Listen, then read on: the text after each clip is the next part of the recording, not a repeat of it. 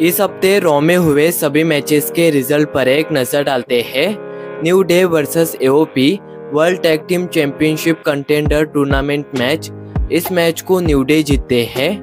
Damage Control versus Liv Morgan और Raquel Rodriguez ये match no contest के ज़रिए खत्म हुआ। L W O versus American Made world tag team championship tournament match इस match को एल जीतते हैं। मेन इवेंट में J Uso versus Bron Breakker का आईसी टाइटल मैच हुआ। ये मैच काफ़ी लंबा चला। मैच के दौरान ब्लड लाइन भी आ गई। जे उसो इससे बिल्कुल खुश नहीं थे। उन्होंने टोंगा ब्रदर्स पर अटैक भी किया। मैच के एंड में जेकब फाटू ने जे उसो पर अटैक किया। इसका फ़ायदा उठाकर ब्रॉन ब्रेकर ने जे उसो को स्पीयर देकर पिन करते हुए आईसी चैंपियनशिप जीत लिया और वो बन गए नए इंटरकॉन्टिनेंटल चैंपियन